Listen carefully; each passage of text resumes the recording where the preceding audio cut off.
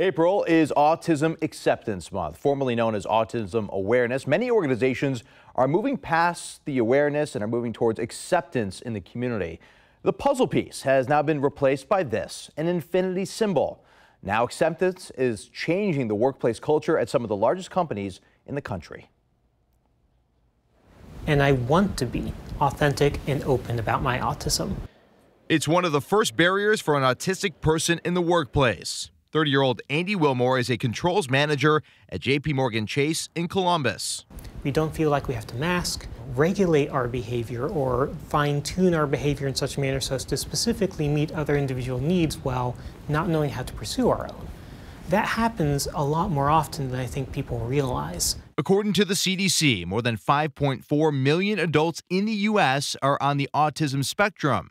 Statistics for the Autism Society show 83% are unemployed. We are actively sourcing talent from these communities. There's nothing charitable about this. We understand the value that the, the members of these communities can add to our firm to elevate our business objectives.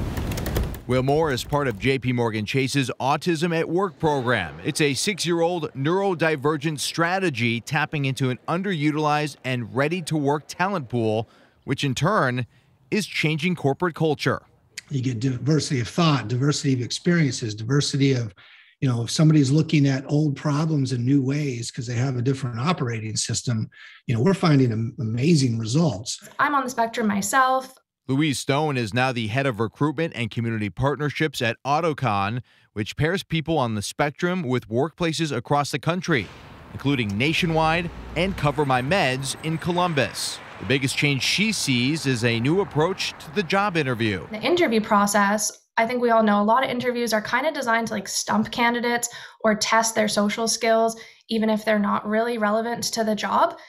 And um, that, that discriminates. These avenues of furthering one's success or furthering one's development or furthering one's network or growing in turn not just awareness but acceptance and also inclusion also like these are things that are very possible for us and JP Morgan Chase has introduced new training for neurotypical employees for their working alongside neurodivergent employees.